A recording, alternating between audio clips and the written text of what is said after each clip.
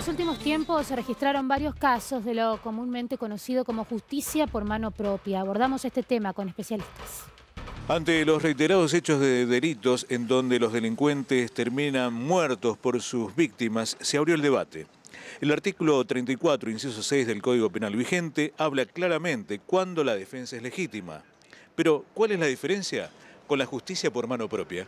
El objetivo de esta legítima defensa no es ajusticiar al delincuente, sino proteger los derechos. En primer lugar, que esa agresión tiene, que ser ilegítima. Es decir, el, delincuente es el que está poniendo en riesgo mi vida, el delincuente es el que me quiere robar el auto, el delincuente es el que quiere abusar sexualmente de, alguna persona. El segundo requisito que tenemos es que esa agresión tiene que ser actual.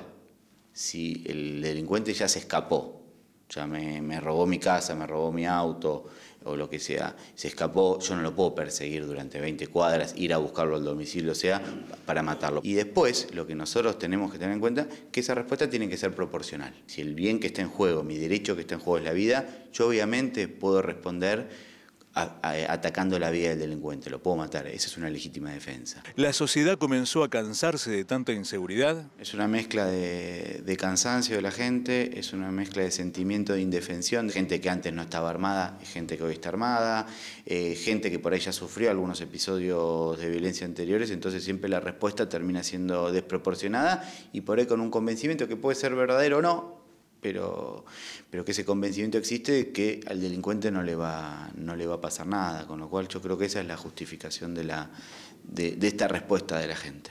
¿Cuál es la solución? Es la pregunta reiterada. La solución está siempre en que la justicia investigue, que la fuerza de seguridad es un trabajo de prevención eh, y que la gente se sienta tranquila de que, de que esta situación va a cambiar y que si efectivamente fue víctima de un ilícito, se va a investigar el, delito y los responsables van a, ser, van a ser juzgados y van a ser condenados a la pena que se merece.